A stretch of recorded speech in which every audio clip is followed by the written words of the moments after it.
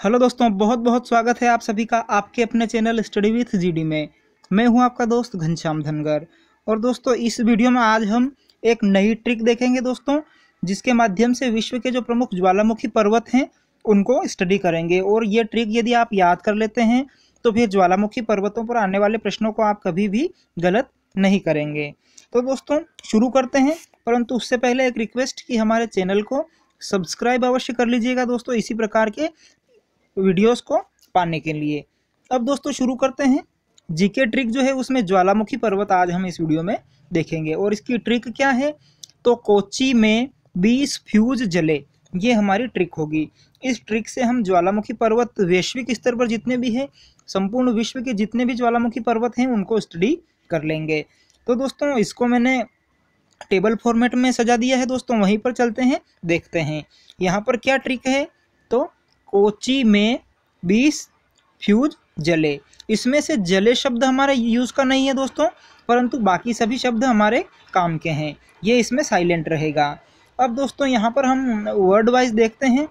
को से है कोटोपेक्सी पर्वत। इसको माउंट कोटोपेक्सी भी बोला जाता है। और ये कौन से देश में है? तो ये इक्वाडोर में है। ची की बात की जाए तो चिम्बोर है जो पर्वत जो है, ये भी एक ज्वालामुखी पर्वत है दोस्तों, जो इक्वाडोर में ही स्थित है। अब दोस्तों ज्वालामुखी पर्वत क्या होते हैं? तो ज्वालामुखी विस्फोट के कारण जो पर्वत जैसी आकृति बन जाती है, उसको बोला जाता है ज्वालामुखी पर्वत। मे से है मेयान पर्वत, जो फिलीपींस में स्थित है। बीस से तात्पर्य है विसुवियस पर्वत। यहाँ पर कोची में बीस फ्यूज जले, अगर ऐसा भी होता तो अभी हम इसको याद रख सकते हैं। विसुवियस पर्वत, और ये कहाँ पर है? तो ये है इटली में। विसुवियस पर्वत इटली में है। इसके अलावा फ्यूज देखा जाए तो फ्यूजियामा पर्वत, जिसको माउंट फ्यूजियामा भी बोला जाता है, कहाँ है? जापान में है।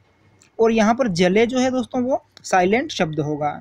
तो दोस्तों, ये हैं को से कोटोपेक्सी चीज़ से चिम्बोरेजो, मे से मेयान, बीस से विसुवियस और फ्यूज से फ्यूजियामा।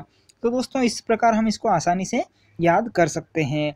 अब दोस्तों, इक्वेडोर में जो पर्वत हैं तो ये साउथ अमेरिका महाद्वीप, दक्षिण अमेरिका महाद्वीप में है, फिलीपींस एशिया महाद्वीप में है जापान भी एशिया महाद्वीप में है, जबकि इटली यूरोप महाद्वीप में आते हैं। ये भी हमको याद रखना है। तो दोस्तों, ये था छोटा सा वीडियो। आशा करता हूँ आपको पसंद आया होगा। यदि पसंद आए तो इस वीडियो को लाइक अवश्य करिएगा और चैनल को सब्सक्राइब करना भी ना भूलिएगा। वीडियो को पूरा देखने के लिए बहुत बहुत धन्यवाद। Thank you.